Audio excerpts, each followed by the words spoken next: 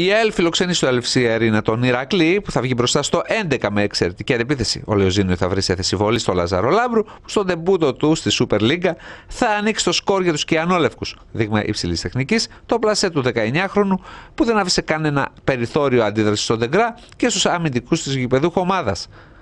Οι Βυσσινοί όμως απάντησαν άμεσα. Στο 15 ο Ντέλετιτς έβγαλε την ψιλοκρεμαστή σέντρα στην πλάτη της άμυνας των φιλοξενούμενων.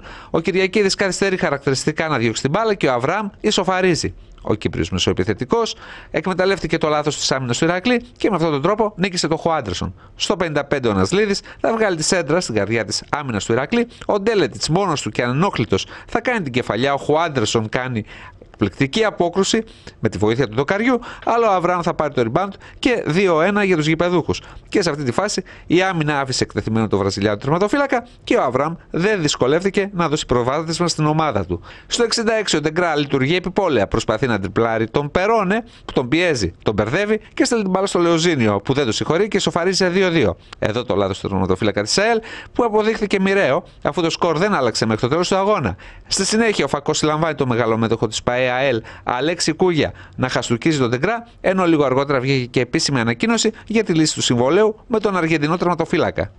Ε, αισθάνεστε ότι πετάξατε δύο βαθμού σήμερα. Το συζητώ, αυτοκτονήσαμε, όχι πετάξαμε.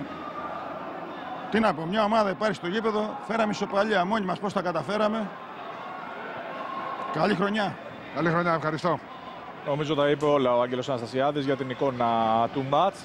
Να ευχηθώ σε όλους σας καλή χρονιά. Καλό πρωτάθλημα, καλοί αγώνες, καλό θέαμα.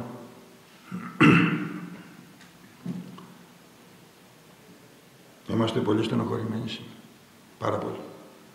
Θέλαμε να, να ξεκινήσουμε το πρωτάθλημα με νίκη μέσα στην έδρα μας. Είχαμε προετοιμαστεί κατάλληλα για το παιχνίδι το συγκεκριμένο. Δυστυχώς για μας σήμερα γίνανε δύο σοβαρά λάθη τα οποία τα πληρώσαμε και πιστεύω ότι εκεί κρίθηκε και το παιχνίδι. Δεν μπορώ όμως να παραγνωρίσω την προσπάθεια των παιδιών που ήταν καταπληκτική. Πιστεύω σήμερα αν είχαμε αυτό το μηχάνημα που μετράει τα χιλιόμετρα πρέπει να σπάσαμε παγκόσμιο ρεκόρ χιλιόμετρων σήμερα τα παιδιά μέσα σε ένα γήπεδο πάρα πολύ άσχημο, κακό γήπεδο. Η μόνη μου στενοχωρία και το μεγάλο πρόβλημα που είχα και έχω για αυτή την ομάδα είναι το γήπεδο. Έχουμε να μπούμε ένα μισή μήνα μέσα και το γήπεδο είναι βούρκος. Και όταν μια ομάδα θέλει να παίξει ποδόσφαιρο, καταλαβαίνετε ότι τα πράγματα γίνονται πάρα πολύ δύσκολα σε ένα τέτοιο αγωνιστικό χώρο. Δεν είναι δικαιολογία, είναι μια πραγματικότητα. Δεν ξέρω τι θα κάνουν αυτοί οι άνθρωποι εκεί. Εγώ το προφύλαξα όσο μπορούσα το γήπεδο για να είναι καλό. Δεν μπήκα μέσα και μάλιστα έκανα και πράγματα τα οποία ήταν αντίθετα με την προετοιμασία της ομάδας. Για να έχω ένα γήπεδο καλό. Το προσπερνώ όμως. Θέλω να πω ότι σε μια πρεμιέρα τα παιδιά έχουν να παίξουν τρεις μήνες ποδόσφαιρο. Μόνο ικανοποιημένος μπορώ να είμαι.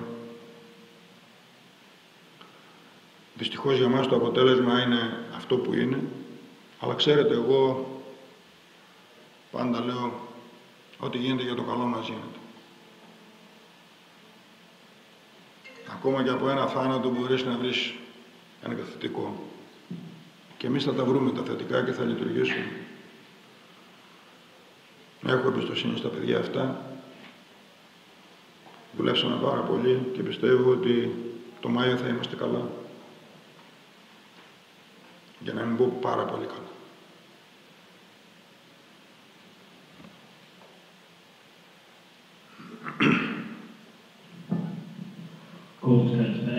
Η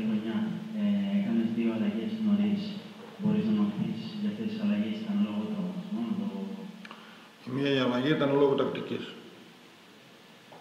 Και άλλοι ήταν λόγω τραυματισμού και αυτό είναι και μεγάλο πρόβλημα για μας γιατί ο Νάβα είναι ένα πολύ καλό κομμάτι για την ομάδα από όλες τις πλευρές.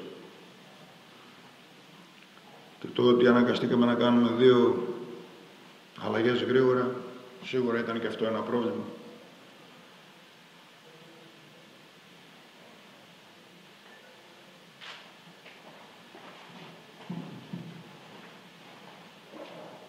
Coach, το γκολ της ισοφάριση είναι ένα γκολ το οποίο σπάνια το βλέπουμε στο γήπεδο. Έχετε κάνει ένα λάθος του τερματοφύλακα. Σκέφτεστε να πάρετε μέτρο γι' αυτό. Ε, ε, ε, πιστεύετε ότι ο τερματοφύλακας για αυτό το λάθος θα πρέπει να πληρώσει; Κοιτάξτε, αυτή τη στιγμή οτιδήποτε πούμε θα είναι λάθος. Είμαστε υποκατάσταση αναβρασμού μπορώ να πω. Και εγώ είμαι άνθρωπος ο οποίος πολύ δύσκολα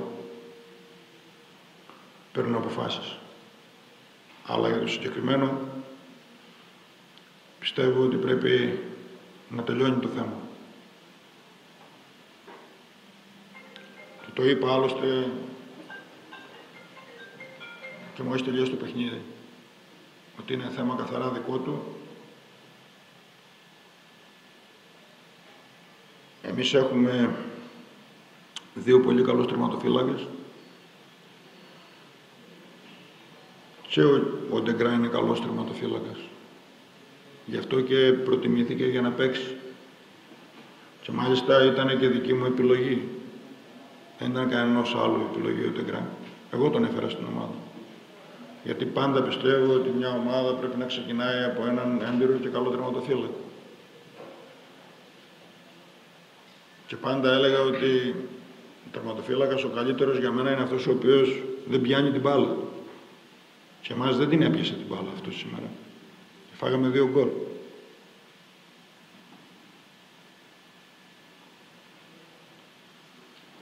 Ποιος καταλαβαίνει, κατάλαβε.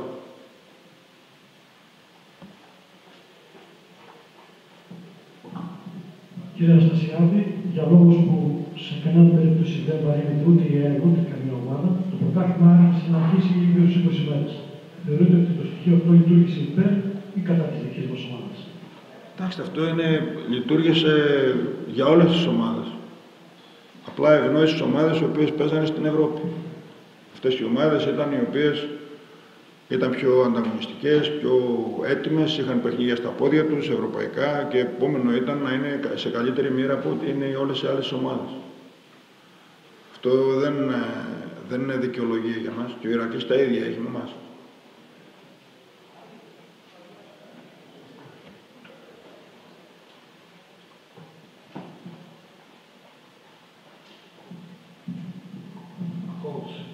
Βλέπω ότι ο Μασούρας, ο οποίος έκανε μια γεμάτη χρονιά πέρυσι, είναι περισσότερες φορές με την ομάδα νέων παρά με την μεγάλη ομάδα. Πιστεύετε ότι δεν έχει θέση σε αυτή την ομάδα ο Μασούρας;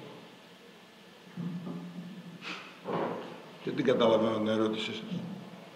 Σοβαρά μιλάω. Δεν έχει καμία σχέση με το παιχνίδι το σημερινό. Καμία σχέση. Άλλη ερώτηση.